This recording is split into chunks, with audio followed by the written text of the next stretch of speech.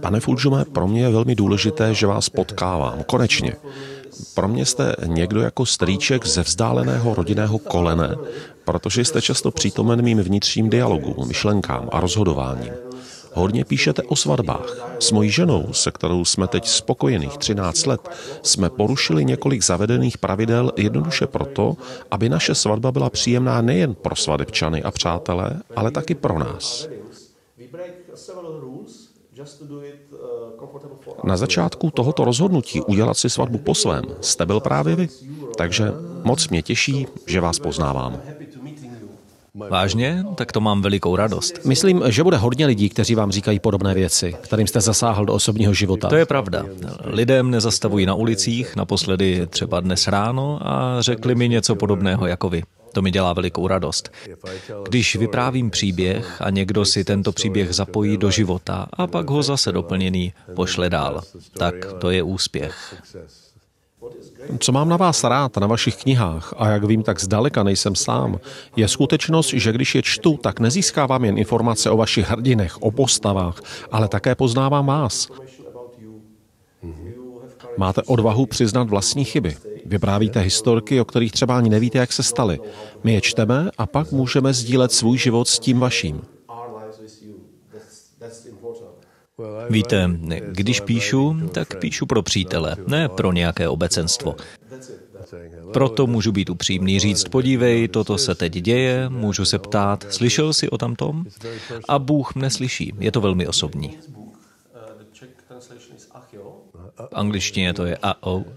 V této knížce, její český překlad je Ach jo, jsem našel místo a poznačil jsem si jej, je to na straně 80, kde se vás nějaký novinář ptá, jestli věříte v Boha. A vy odpovídáte, že věříte v Havarda. Pamatujete si ten příběh? Ano, pamatuji. Teď nedávno jsem měl zážitek, který se k tomu vztahuje. Poslouchal jsem čtyři mladé dámy, jak zpívají na náměstí Míru. Zpívali anglicky. A tak jsem k ním přišel blíž, abych je dobře slyšel. A jedna z nich přišla za mnou a zeptala se, našel jste Boha? A já jsem se zeptal, cože, on se Bůh ztratil? A ona hned, ne, ne, ne, myslím, jestli jste našel Ježíše. A já hned, cože, on se ztratil taky? Ale ona se vůbec nesmála. Vy mi rozumíte, proč je to legrační, ale to ona byla velmi vážná. Jasně, zůstala hluboce v poze ve svém pozlání. Myslím, že to byla mormonská misionářka a nevěděla, co říct, ztratila nit. Myslím, že v té knize je zmíněno, že jeden z vašich příbuzných se jmenuje Howard. Ano. Tak potom to je jasné znamení, abyste dělal misionářskou práci. Zajisté, to je znamení od někud. Tak mi prosím řekněte, co se stalo, že jste se jednoho dne rozhodl, že už Howardem nebudete a že už na této misi nebudete spolupracovat. Když jsem byl mladý, moje představa Boha byla velmi malá, prostá. Bůh mne neustále pozoroval. Maminka řekla, Bůh tě neustále sleduje a tak jsem si představoval, že přímo nade mnou je starý pán, který mne pozoruje. Ale postupně jsem získával větší představu Boha a co to slovo znamená. Už mám přes 80 let a už rozumím tomu, že to je prst, který ukazuje na něco velikého. Je to slovo, které musíme používat, protože my jsme tak malincí a to je tak veliké. Takže není to o tom, že bych nevěřil v Boha, ale jde o to, že moje představa významu toho slova je už mnohem rozsáhlejší. A teď, protože čtu kvantovou fyziku a zajímají mne mnohočetná univerza, tak když si představím, že já jsem jednou univerzum a je spousta dalších a v každém z nich je Bůh, tak celá ta záhada, to tajemství se stává ještě mnohem větší. Není to zajímavé, že náboženství v poslední době získává základy ve fyzice? Ano. Očekával bych to snad v jakékoliv jiné vědě, ale ve fyzice? Ale je to tak? Mám přítele, který je šéfem francouzského fyzikálního ústavu ve Štrasburku. Požádal jsem ho, dej mi nějakou vizuální představu, abych o tom mohl přemýšlet. A tak on vzal bublinkovou folii, do které balíme křehké věci a řekl, to je ono. Co bublina, to je jeden svět. Nejsou nějak propojené, všechny jsou oddělené, ale přitom spolu souvisejí. Páni, říkal jsem si, a co se stane, když na to stoupnu? Napadá mě historka, která se mi stala v Nepálu u jednoho afgánského prodavače koberců. V jeho obchodě se mi moc líbilo a tak jsem tam několik dní chodil. Vždycky mě přivítal, říkal nespěchej s výběrem, užij si se mnou čaj, pojďme si povídat a uvidíš, že odstupem času pro tebe najdeme ten správný koberec. A taky vymyslíme dobrou cenu pro nás oba. Povídali jsme si o všem, o holkách i o Bohu. On byl muslim a říkal mi krásné přirovnání. Víš, teď jsme oba v pokaře a když se ty a já budeme chtít dostat do Katmandu, existuje mnoho cest, kudy se tam vydat, ale všichni máme stejný cíl. Hmm. To je důvod, proč mám rád hinduismus, kde existuje taková spousta představ, jaký by mohl být Bůh, včetně Ganeši, toho tlustého s pupíkem a se sloní hlavou, který tancuje. To je skvělé. Jaké jiné náboženství má tlustého boha se sloní hlavou, který tančí na jedné noze? Je to všechno o představě, jakou potřebuješ mít, abys pochopil to tajemství, tu záhadu. Když byl jeho svátost Dalajláma tady v Evropě, lidé se s ním bavili o náboženství, o buddhismu a on mne překvapil tím, co řekl. Víte, nedělá mi moc velkou radost, když vidím křesťanská místa v Indii, ale ani když jsou buddhistická v Evropě, protože tam proto nejsou kořeny. Obvykle bývá lepší, pokud křesťanství je v křesťanské Evropě a buddhismus je v buddhistických zemích. To znamená, že on je otevřený skutečné myšlence ekumenismu. Yes. Musí to být zvláštní, být Dalaj Lama a žít v tom, že vás skupina starých mnichů objevila ještě jako malé dítě a prohlásí, vy jste reinkarnace Dalaj Lámy. A on to nemůže sám nějak ovlivnit. Líbí se mi, že když hovoří o sobě, hovoří i o všech svých reinkarnacích. Takže například řekne, ano, toto je věc, kterou jsem udělal ve 13. století. Ano, přesně tak. On sám to tak cítí. Je velmi hluboce obohacený muž, obdivuji ho. Doufám, že se vrátí do Tibetu, než zemře. Ale nevím.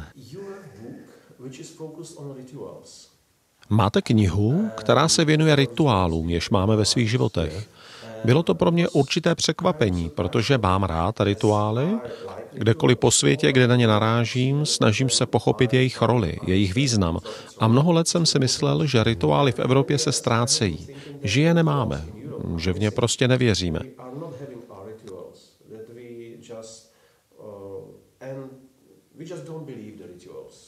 Nemáme rádi Vánoce, protože to je pro nás jenom festival konzumu, že jde jen o utracené peníze. Neděláme svatby, prostě jsme ze všech rituálů vypadli ale přitom je potřebujeme. Ve vaší knize se na to díváte z druhé strany. Říkáte, že rituály jsou v našich životech úplně všude. A to se mi líbí. Je jich celá řada, každý den, které nám přibližují dění. A tak vstáváme nějakým způsobem, máme nějaké zvyky, říkáme tomu zvyky, ale ve skutečnosti to jsou rituály, které děláme, abychom si potvrzovali, že den probíhá dobře. A když se něco pokazí, třeba že není horká voda a rituál je pryč, nastává zmatek, protože třeba všechno záleží na tom, že každé ráno si mídlem umývám ruce v horké vodě a mám po ruce ručník to je rituál, díky kterému vnímám, že můj den má svá pravidla, na kterých jsem závislý. Jenom si to neuvědomujeme. Jsou i rituály na to, že nejsou rituály. Například, když neslavíte Vánoce, tak cíleně děláte něco jiného místo toho. Celé to je vlastně taková rituálová hra. Je to tak. Myslím si, že Češi jsou plní rituálů, stejně jako všichni ostatní. Ale některým rituálům nerozumím. Proč třeba jíte na Vánoce kapra? No vidíte, odpověděl vám na to někdo? Jo, říkali mi, já to nejím, vracíme to do řeky. Hmm, říká se, že to byla levná ryba, kterou si prý mohl skoro každý dovolit. Tak možná proto. Mám kamaráda, který kapra kupuje a dává do vany, aby si s ním mohli děti hrát. A doma pak kapr najednou zmizí. Od malička jsem si myslel, že všichni lidi na celém světě jedí o Vánocích kapra. Co jiného? Vždyť přece takový je zvyk. Postupem let jsem pochopil, že je to jinak. Možná se vybavíte, že kolem Vánoc se v ulicích najednou vždy objevila prodejní místa, Ano, s velikými káděmi. A kolem byl led od vyteklé vody, zmrzlá krev na zemi. Vlastně to bylo strašné. Když si člověk uvědomí, že se prostě ve velkém zabíjelo přímo na ulici. Navíc pro slávu Ježíše se zabíjejí ryby a navíc se zabíjejí stromy. No ano, to máte pravdu. Vlastně zabijíme i stromy. Jednou jsem tak stál, pozoroval lidi, když ke mně přistoupil malý televizní štáb a nějaký angličan se zeptal. Dobrý den, prosím, můžete mi říct, co si myslíte o tomto podivném zabíjení přímo na ulici? Zamyslel jsem se a řekl, OK, my Češi, když něco slavíme, tak prostě potřebujeme někoho zabít. Zírali na mě a asi si mysleli, že mluvím vážně. Víte, v každé zemi po celém světě v určitou část roku jíme určitá jídla. Byl jsem v Thajsku, docela stranou, ve vesnici, kde probíhala svatba. A ke svatbě patřilo, že měli připravená malá štěňata, která sloužila vyloženě k jídlu, ne jako mazlíci. Když jsem přišel ke slavnostní tabuli, byla na stole uvařená štěňata a nabídli, abych si jedno štěňátko vzal. Musel jsem se omluvit, že si nedám. Zeptali se, a co jíte?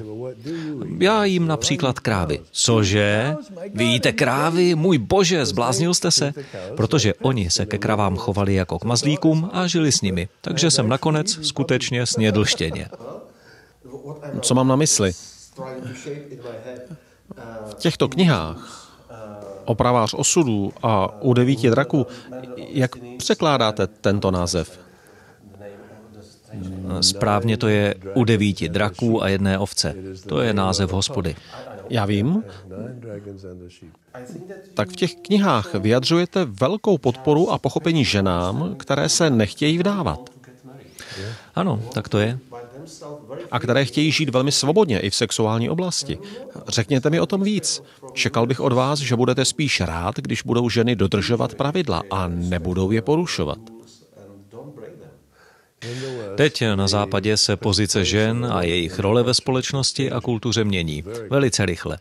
Ženy chtějí být rovné mužům a toto chci oslavit a říct, že to není špatná cesta, jak myslet.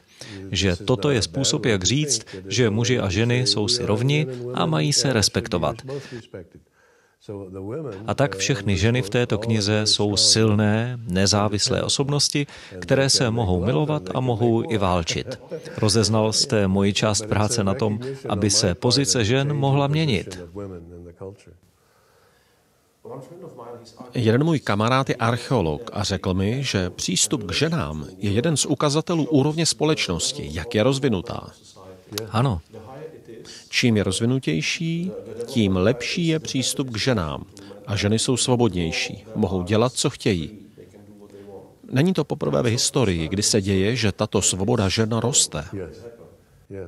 Ano, na západě to roste, ale na východě je to jinak. Je to teprve nová věc. Teprve nedávno se rozhodlo, že ženy v Saudské Arábii mohou řídit auta, ale stále musí být takhle zahalené. Takže na některých místech jsou podobné změny ještě hodně daleko. Ale na západě, třeba v České republice, status žen stoupá, aby byly na stejné úrovni jako muži. A jak to vypadá ve srovnání se Spojenými státy? Protože Spojené státy jsou tradiční.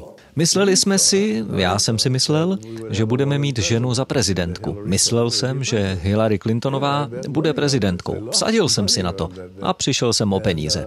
Nemohl jsem uvěřit tomu, že po Obamovi budeme mít Trumpa. Nemohu tomu uvěřit pořád.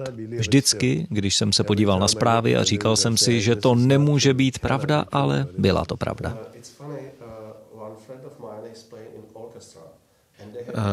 Jeden můj kamarád hraje v orchestru a hledali hráče na trumpetu. Napsali na Facebook, hledáme trumpetistu a ten automat jim zamítl publikování. Právě kvůli paralele s Trumpem.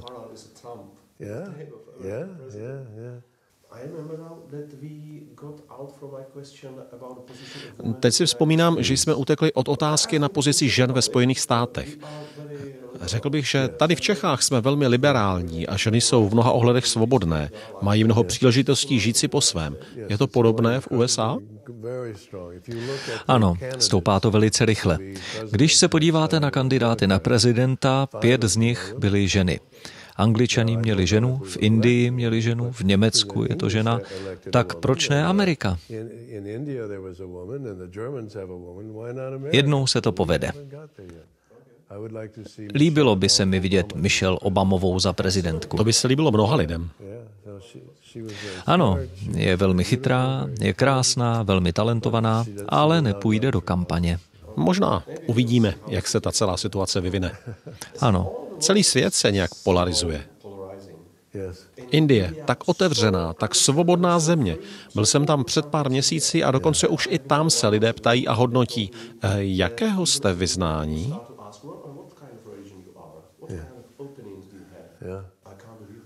Ano, kolo se otáčí, věci se opakují. Souhlasíte s tím, že naše civilizace ustupuje? Ne, zlepšuje se to i zhoršuje zároveň. Takže rozšiřuje? Ano, rozšiřuje se.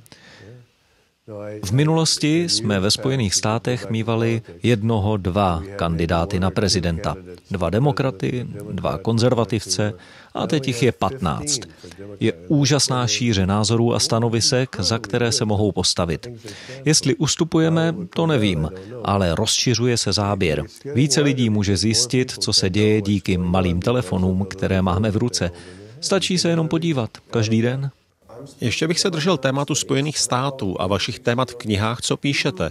I tyto knihy jsou publikované ve státech? Ne.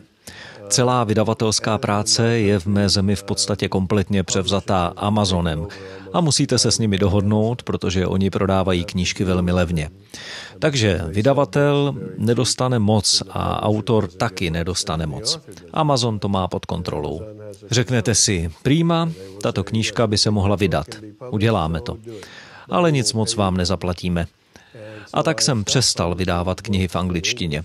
Teď mám devět titulů v České republice a v češtině, protože tady lidi ještě pořád čtou knížky. Vydavatelé tady pořád vydávají, stále tu knihy fungují. Je to tak, jak to bývávalo, jde o čtení, jde o čtenáře. Takže tyto knihy, jedná se o trilogie, vždy jde o dlouhý příběh, jsou vydané jen a pouze v češtině. Jenom v češtině, žádné další jazyky. Vy jste kulturní emigrant. Vítejte v mé zemi. Víte, po 30 let, od doby, kdy mi bylo 50 až do dneška, jsem tu byl, jak já říkám, ve vlaku slávy. A to vás zahltí. Život není nic moc, nemáte chvíli klidu, protože neustále píšete. A tak teď mám mnohem klidnější život, kdy vlastně jenom jednou za rok přijedu do České republiky na celý měsíc, kdy se strhne to kolečko a pan mateřská škola je opět tady. A po měsíci se vracím domů, kde nejsem nikdo. Takže vy tady vstoupíte do vlaku slávy, užijete si a pak zase jedete domů. Ano, jedu domů. To vypadá velmi komfortně. Ano, je to velmi pohodlné. Je to pro mě to nejlepší. Žiji ve městě, kde je pět tisíc obyvatel, je to spíš taková vesnice. A lidé znají mne, ale nikdo mě neotravuje, nikdo nechce autogramy. Jsem prostě jeden z nich, co tady bydlí. A tady jsem vážený jako velká osobnost, jako kdybych snad byl nějaká osobnost. No. Vaše knihy byly vydané ve 30 zemích? Ve 30 jazycích a 121 zemích. Jsou všude. Mám místnost, která je velká asi jako půlka této a tam mám knihovnu jenom s mými knížkami z celého světa. A ve všech těch jazycích. Můj syn se mě zeptal, tati, co s tím mám udělat, až umřeš? Co já vím, odpověděl jsem mu, vyhoď to na skládku, co s tím chceš dělat? Jak se cítíte před tou knihovnou? Pardon? Jak se cítíte, když stojíte naproti té knihovně? Nevím, jsem zahlcen. Víte, jedna věc na prodávání knih do světa je, že nikdy nepotkáte překladatele. Nikdy nevíte, kdo to je. Nedokážete potkat všechny? Ne, žádného. Jediný překladatel, se kterým jsem se kdy potkal, je tady, v České republice. A on přeložil úplně všechny moje knihy od úplně první, která u vás vyšla. Včera jsme spolu byli v zoo. Znám ho od dob ještě než se oženil a znám ho, jak se oženil, jak přišli na svět jejich děti. A včera jeho dvě dcery, kterým je 6 a 18, 16. Eh, a včera jsme společně šli všichni do zoo a byli jsme jako rodina. Vy jste pro ně skutečný strýček. Ano, jsem strýc, ale on je můj jediný překladatel, jakého jsem kdy potkal. Fakt žádného jiného? Ne. Vždycky říkám, když někdo kupuje k vydání moje knihy pro nějakou zemi, tak opakuji, že jsem překladateli k dispozici, aby se zeptal, co, jaká pasáž znamená, co jsem měl na mysli, ale nikdy se nikdo nezeptal. Žádná otázka? Ne, nikdy. Není to zvláštní? Je, ale někdy, když lidé čtou, třeba moje kniha z mateřské školy, když byla vydaná v Izraeli, tak se mi ozval někdo, kdo uměl anglicky i hebrejsky. A ten mi řekl, že to bylo hrozné, ohavné, že ten můj známý ani neměl pocit, že čte moji knihu. Nad tím prostě nemám žádnou kontrolu. V tom je ten problém. A nebo v Japonsku překladatel ve skutečnosti nedělal překlady. Tam najali staršího univerzitního distingovaného profesora, který zadal svým studentům, aby odvedli veškerou práci. Takže vidíte, že člověk ve skutečnosti nikdy neví, kdo překládá jeho knihy. V každé zemi mají jiný systém. To je zajímavé. Naproti tomu tady je jeden muž a jeho manželka, kteří jsou hlasem Roberta Fulgema. Musí být velmi zajímavé, pokud sledujete, jak vaše knihy, jako například ta z mateřské školy, což je asi vaše prodejní jednička, tak tady když vidíte, jak ty knihy pracují po celém světě, ale vy nemůžete rozeznat, jaké vlastně ty vaše knihy v jednotlivých zemích jsou. Přesně. Je to záhada, se kterou nemohu nic udělat. I když možnost tu je. Poprosil jsem bilingvní lidi, aby si přečetli obě knihy a řekli mi, jestli se jedná o dobrý překlad a většina z nich byla dobrá. Japonské jsou dobré, korejské, čínské na Tajvanu, v Evropě, francouzské nic moc, takže něco zjistím. Ale nemůžu přečíst všechny jazyky.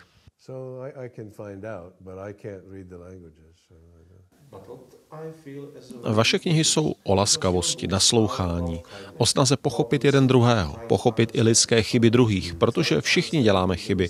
A přijde mi, že to je něco, co jako lidstvo máme společného, co všichni potřebujeme. A to je dobrá zpráva. Říká vám, že mnoho mých knih by mohlo být o temné stránce žití, smrti, strach a podobné věci. A já to znám, rozumím temné stránce lidského bytí. Ale to neznamená, že bych to chtěl popsat jako to, co je nejlepší na tom být člověkem. A tak chci říct, ano, znám to, ale podívejte se sem.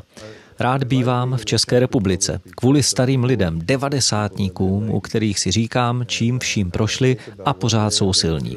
Potkal jsem starou dámu v autobusu, kterou někdo, jak má být, pustil sednout. A ona mne uviděla a vstala a nabídla mi místo. Je jí 90, ale pořád je silná. Pořád má mladé srdce. Řekla, jste cizinec, vezměte si moje místo. To je velmi české. Sedl jste si? Ano, a pak jsem mi vzal na klín. Vážně? A ona se smála. Je mi to jasné. A začali jste si povídat. Přesně. Byl u toho nějaký muž, který nám překládal, takže jsme si popovídali. Bylo to legrační, protože jak už je stará a velmi malá, tak prsa má teď někde tady dole, takže když jsem ji k sobě táhl, tak jsem jí na ně sáhl, až jsem jí vylekal. Vykřikla, ale sedla si. Ve svých knihách píšete, že otázka stáří není otázkou roků, je to otázka rozhodnutí. Je tam diskuze mých postav, kde zazní, že to je záležitost přístupu, ne roků. A myslím, že to je veliká pravda. Já znám, mám mnoho přátel mého věku, kteří jsou už starci. Museli se tak rozhodnout a tak jsou staří. Ano, mám přátele mého věku, kteří už jsou staří. Jsem v důchodu, končím, jsem hotovej, už nic nebude. Tak to není můj styl. Bylo mi snad 17, když jsem četl vaši školkovou knížku. Opravdu? A byla pro mě velmi důležitá. Byla to kniha, která mě v některých věcech ujistila. Říkal jsem si tehdy u spousty věcí, jak by to asi mohlo fungovat, i když to třeba mezi lidmi kolem mě nebyl běžný názor, ale říkal jsem si, že tak nějak by to mělo být. A pak jsem četl vaši knihu a řekl jsem si, bezva, cítil jsem to správně. Bylo to velmi, velmi komfortní být v 17 ujištěný v některých věcech života. Musím ale připomínat, že toto není originálně moje. Jednoduše říkám nahlas to, co se každý naučil ve vlastním životě. Naučil jste se, že je lepší dělat toto než tamto od chvíle, kdy jste byl veliký jenom takhle. Nemlať lidi, nelži. Je to velmi jednoduché. A když znáš tyto věci, tak život jde dobře. Teď v pozdějším věku mohu potvrdit, že to přináší zisk. Je to nejsnažší, nejužitečnější i nejziskovější, například nelhat. Ano, je to tak. Nemusím si pamatovat všechny situace, kdy jsem lhal. Nemusím si pamatovat svoje lži a prostor svého mozku, tak mohu využít pro jiné věci a nemusím pořád přemýšlet, kdo asi ví, co jsem kde nalhal, kdo to neví. Lidi se mne ptávají, jestli si pořád myslím, že to, co jsem napsal v knížce, všechno, co doopravdy potřebuje znát, jsem se naučil v mateřské škole, stačí pro život. A já říkám, pochopitelně, že ne, ale ten základ, na kterém pak stojí všechno ostatní, se během života nezměnil. Můžu to říct jiným jazykem, můžu to říct velmi komplikovaně, ale základ se nemění. Proběhl určitý výzkum mezi Čechy, který se věnoval vzájemné důvěře a vyšlo to docela špatně. Ukázalo se, že jeden druhému moc nevěříme. Je něco, co byste k tomu řekl? Ne, ne, ne. Neřekl bych nic. V Las Vegas je jedno staré přísloví, které praví věř tomu, kdo rozdává, ale vždycky sejmi. A nebo věř svému koni, ale vždycky ho uvaž. Je třeba jít oběma cestami, dokázat věřit, ale také zůstat opatrný. Řekl bych, že lidi jsou v jádru dobří, alespoň většina. No, většina lidí má v sobě něco dobrého. Jsou také skutečně zlí lidé, jsou lidi se zbraněmi, kteří zabíjejí druhé, ale nemůžeme nechat běžet naše životy podle toho, co vidíme každý den v novinách a v televizních zprávách, protože to jsou vždycky jen ty špatné zprávy. Kolik lidí bylo zabitých, kolik lidí porazil nákladák. Ve zprávách se nikdy neřekne, Tady je novina. Miliardy lidí se ráno vzbudili, šli do práce, jsou hodní, laskaví, pak přišli domů, byli spolu, lehli si do postele a stejně se chovali i další den. Toto není do zpráv a přitom je to pravda. Založme nové zprávy, kde budeme na začátku vždycky říkat 99% lidí dnes bylo v pohodě, prožili prýma den a teď se pojďme podívat na informace o tom jednom procentu těch problémů. Ano, přesně tak. Úplně vidím titulek. Nic skutečně zajímavého se dnes nestalo. Líbí se mi, jak je na cigaretách vždycky ten obrázek a nápis pozor, kouření zabíjí, tak na novinách by bylo pozor, informace člověku otravují život. Nezapomeňte, že většina lidí je v pohodě, my píšeme jenom o problémech. To je přesně ono. Vždycky, když se dívám na zprávy na Google, tak alespoň polovina je o někom, kdo zemřel nějakým divným způsobem. Zřítil se letadlem, uhořel a co já vím, co ještě. Ale to není novinka, to je prostě podivný okraj skutečnosti. Naše hlavní večerní zprávy v televizi mají 45 minut a nechce se mi věřit, že se v naší malé zemi stane každý den tolik věcí, aby to pokrylo tak dlouhé vysílání. To je pravda, bylo by prima, kdyby třeba řekli, dneska to bude trvat. A na konci by se přidalo, nezapomeňte, že Robert Fuljob řekl, že většina lidí je v pohodě. Většina lidí, co byla živá dneska ráno, je živá i večer, včetně vás. Jestliže se díváte na televizi, tak vás asi čeká i zítřek. A to je vlastně další dobrá zpráva. Díky. Díky. Bylo to krásné povídání. Moment, vy jste zmiňoval něco o zoo. Včera jste tam byl, jak se vám to líbilo? Povím vám příběh ze zoo. Když jsem tu byl v roce, kdy byla celá zoologická kompletně zaplavená, bylo to tehdy hrozné a spousta zvířat zahynula, tak jsem se pak za rok vrátil. A šel jsem do zoo s nádhernou ženou s úžasnou představivostí. Dala mi tři zabalené kousky papíru a řekla, vyberte jeden a uděláme to. Tak jsem jeden vybral a tam bylo napsáno, půjdeme do zoo. Odpověděl jsem, vždyť v zoo nic není, ale ona řekla, ale ne, tam jsou všechny ty klece a jsou tam jednorožci, mořské pany a dinosauři a draci, musíte si tu zoo správně představit. A tak jsme šli do zoo od klece ke kleci a nahlas jsme se bavili. Podívej, tady je jednorožec. Nevěděl jsem, že jednorožci jsou modří. A teď se lidé začali zastavovat a dívali se, na co ukazujeme. Chechtali jsme se, měli jsme se parádně. A pak jsem přijel domů a měl jsem tam další dva zavalené kousky papíru, tak jsem je oba rozbalil a na každém bylo napsáno půjdeme do zoo. Byla chytrá. To je krásný příběh. Takže včera jsme šli zase do zoo, abychom viděli nové jednorožce. Našli je v Jižní Americe Africe a jsou černobíle pruhovaní. Hmm, viděli jste je? Ano, viděli jsme je. A někteří další lidé je viděli taky.